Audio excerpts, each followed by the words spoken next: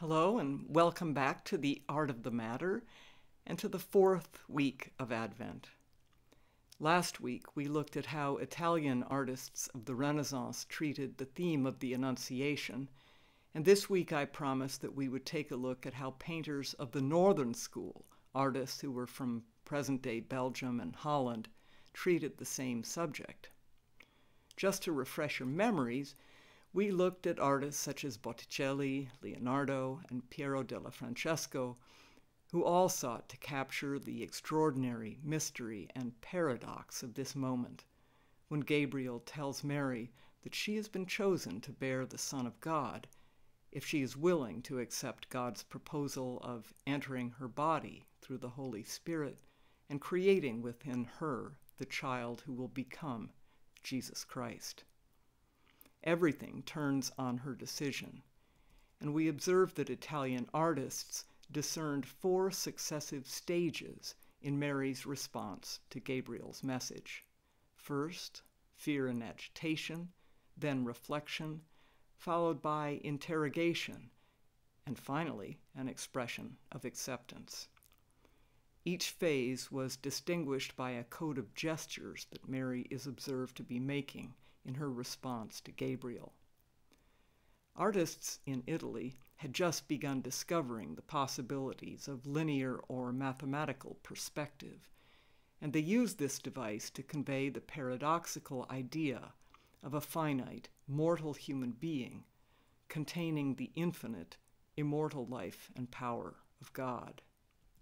Botticelli's perspective lines led the eye to focus on the suspended space between the hand of Mary and the hand of Gabriel, summing up in that tension all the potential and significance of that moment.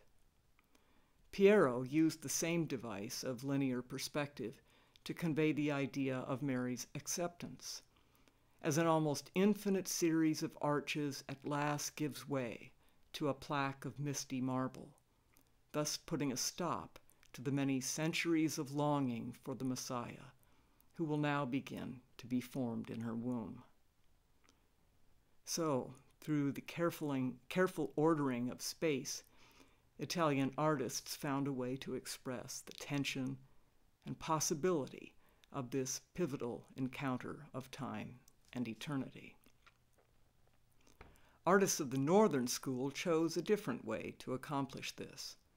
Rather than emphasizing spatial relationships, the painters of the Netherlands used the power of the newly perfected medium of oil paint to emphasize a seemingly infinite number of precise details and symbols, giving the viewer what might be considered a God's eye view of the Annunciation, where everything is seen and everything has meaning. Jan van Eyck, whose Ghent altarpiece we looked at a few weeks ago, created this scene of the Annunciation, for the first time making it take place, anachronistically, in a church. This panel probably originally formed part of a triptych, whose other two panels have been lost. Gabriel comes dressed in the liturgical garments of a priest celebrating a high mass with an elaborate cope or cloak over what is called a white dalmatic, which is a long sleeved sort of tunic.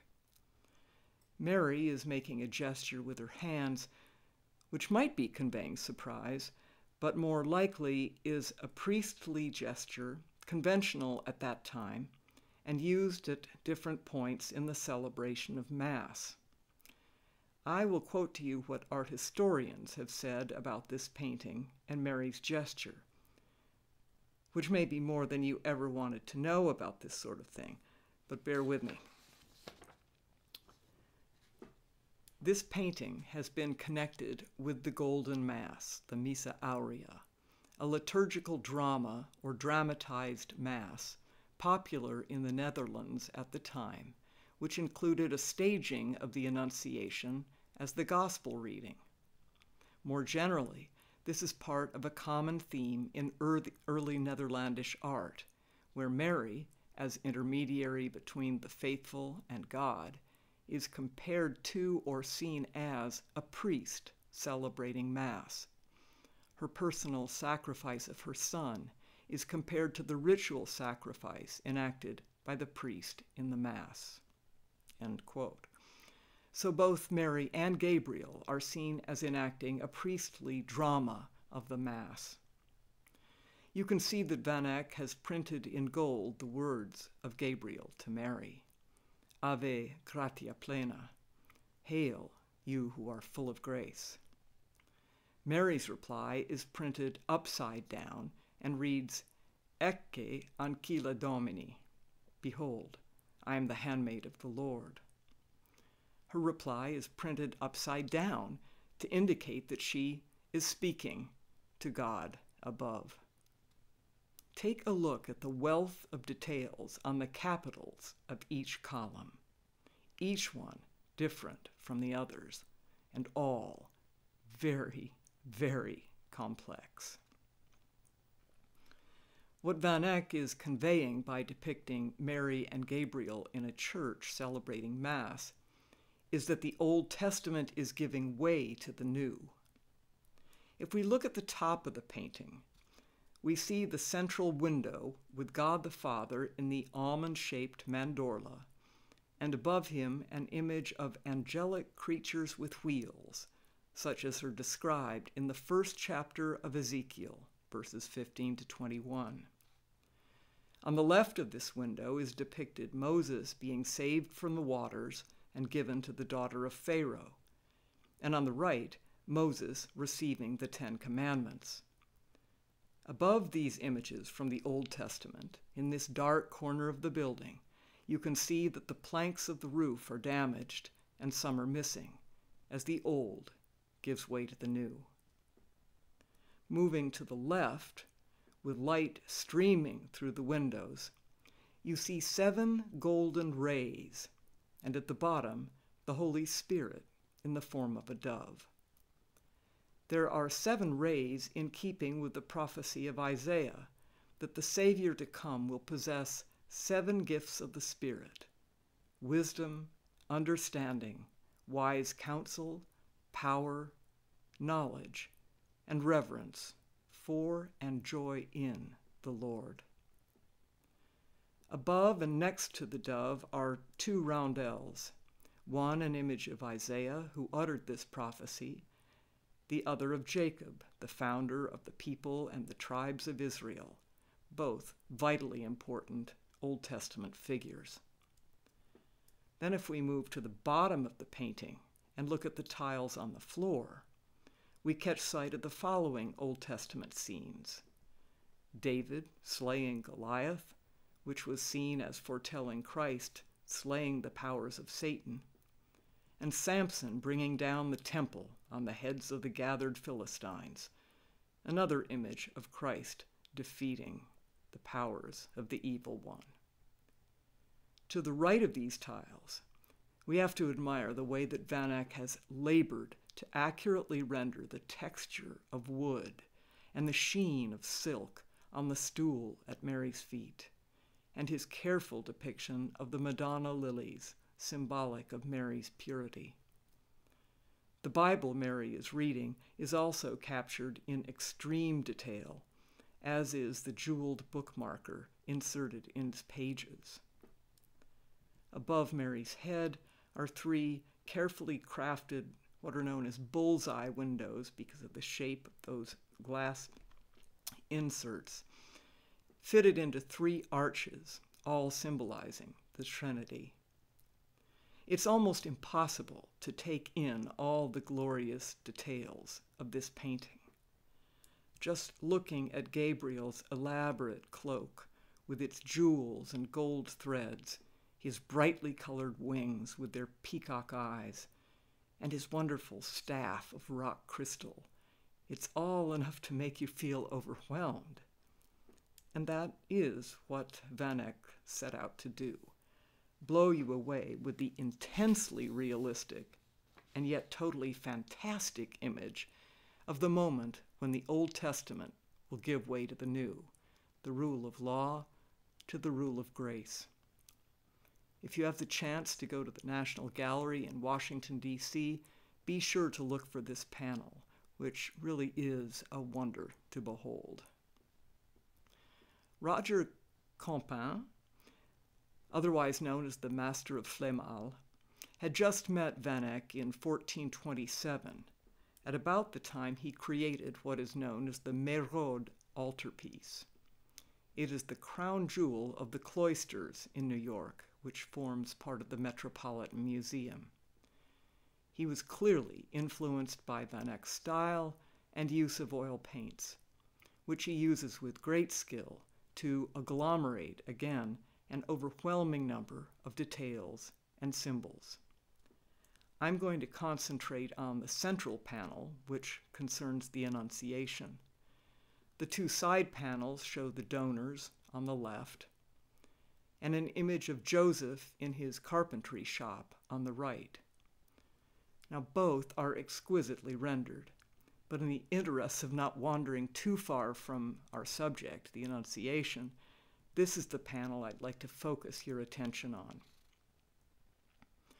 The minute you see it, you know that this artist is not concerned with capturing space realistically or with proper linear perspective. The room and the bench beside Mary telescope in a strange way toward the back, and the table where Mary sits at her devotional reading is oddly tilted forward, so that the books, candlestick, and vase would be sliding right off onto the floor if this were a real space. Everything seems compressed and squeezed into place, as if Campin wanted to amass as many details as possible into his picture, everything rendered in painstaking detail.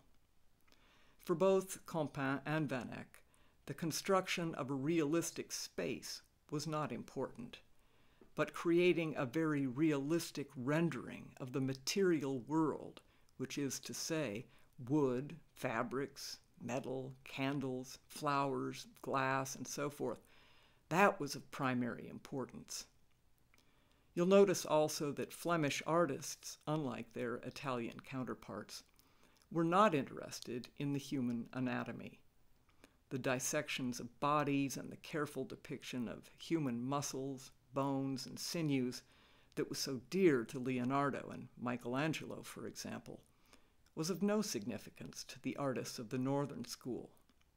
You can't quite imagine what the bodies of Mary or Gabriel look like under their heavy draping in fabric because that didn't seem as important to the northern painters as mastering the appearance of everything else surrounding the bodies. And everything you see that is so precisely and realistically painted also has a symbolic value, a spiritual message, as the nor- uh, northern artists felt that the material world was charged with divine significance which is one of the defining characteristics of the Northern School.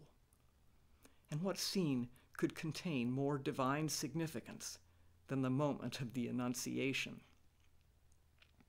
What Campin has actually given us is the second before Gabriel makes his appearance to Mary. She has not yet realized that he has entered the room.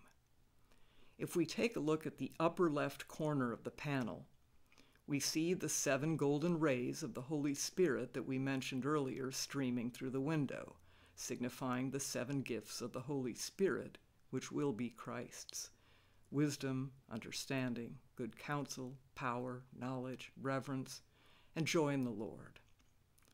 Streaming along with the rays of the Spirit is the unexpected tiny figure of a baby, the Christ child, bearing his cross. This is highly unusual. I've never seen this done by any other artist. Countless times you see the Holy Spirit in the form of a dove, but this is entirely original to Robert Campin. Moving to the right of this, we see a precise rendering of elements needed for ritual washing, such as are used when the sacrament is being prepared during a Mass. The metal pot technically called a laver, as well as the cloth hanging next to it, are used to perform ritual ablution, and together with the lily, also symbolize Mary's purity. In the center of the picture, we focus on the three flowers of that lily, which once again reminds us of the Trinity. The vase is of a type commonly used in the Netherlands at this time, with this very kind of glazing and decoration. The devotional reading material we see so precisely depicted speaks to the movement from the world of the Old Testament, that is indicated by the scroll which dangles off the table, to the New Testament, conveyed by the open book. The candle, which is in the exact center of the panel, has just been snuffed out. The smoke rising from the wick is perfectly captured, and the apparent significance is that the Spirit of the Son of God has just entered our human world, taking on flesh and temporarily surrendering his exclusively divine nature. On the right, I suspect that the lions, which serve as finials on the ends of the bench, are to remind us that the child to be born will be the lion of the tribe of Judah, foretold long ago in the book of Genesis, and then mentioned again in the book of Revelation, none other than Jesus himself. Scholars continue to debate the significance of other objects in the painting. We may never know what the candlesticks above the fireplace might have signified at the time this painting was created, or who the two figures are who appear carved on the columns on either side of the fireplace.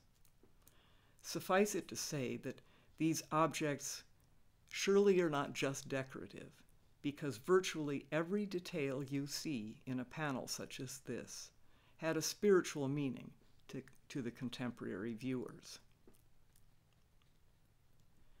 I hope this comparison of the characteristics of the Italian and Northern schools will help you to understand and decode the images of the Annunciation that you'll see on Christmas cards and in the media throughout the Christmas season. More importantly, I hope the images we've looked at helped you to ponder anew the mystery and paradox of this pivotal moment in history when the divine became human and the immortal came to dwell in perishing human flesh. I'll be taking a break from the art of the matter for a few weeks during Christmas and the New Year, so I'd like to wish you all every blessing and all the joys of Christmas, and a New Year that brings us more together than apart, and sees us freed from the fear and dread of a virus that has brought so much stress and heartache to so many. May Christ dwell in your hearts richly. I'll quote from the third verse of the carol, O Little Town of Bethlehem, in closing. How silently, how silently the wondrous gift is given so God imparts to human hearts the blessings of his heaven. No ear may hear his coming, but in this world of sin, where meek souls will receive him still, the dear Christ enters in. Merry Christmas, everyone.